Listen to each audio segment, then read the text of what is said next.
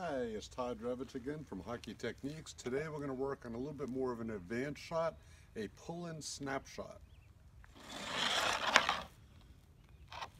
This shot is going to come into play for many reasons. First, as I pull the puck towards my body, it's going to allow me to get more power on the shot.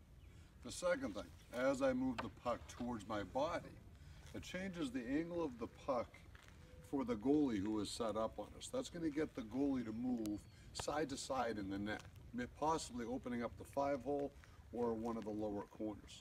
The third thing is, and you'll see right now if you're watching the NHL games, is it could be pulling the puck away from an opponent as you're making the move. So I pull the puck away from an opponent and get the puck in nice and close where I'm protecting the puck and I can allow me to get that shot off. Okay, to work on this shot, the first thing you're going to have to do is move your board sideways, unless you have a big, large surface that you can shoot off of. For me, I have a thin board, um, so I'm going to turn the board sideways, so that allows the puck to be able to travel from, say, an extended reach where my hands are together and out away from my body to into my body as I lower that bottom hand. You'll notice my bottom hand was sliding down the shaft of the stick as I get that puck towards me. The second thing to keep in mind here is the toe tuck. The toe tuck is, remember when we go to stick handling, top hand dominant. So the top hand is doing all the work right now.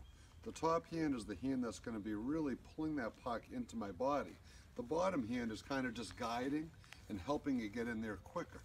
So on my first push, my bottom hand is just kind of guiding and that's going to allow the shot to get taken right off of the blade where I want it to be.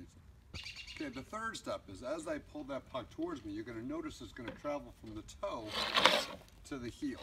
So I'm going to be pulling in and stepping. And as I step with the foot closest to the net, it's going to allow me to get a little bit of weight on that stick. The board, I know you're asking, it's a very short distance. That is going to help me with my quicker release because I do not have time for this long sweeping release. It has to be made quick snap.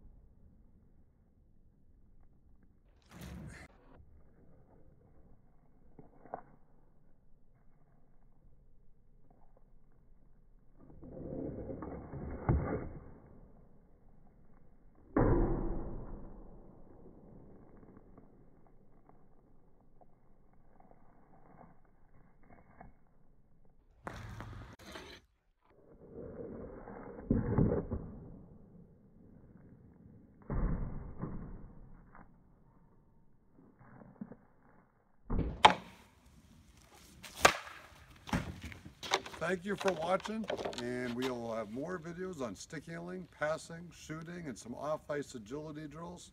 Please subscribe to our site and or go to our Hockey Techniques website.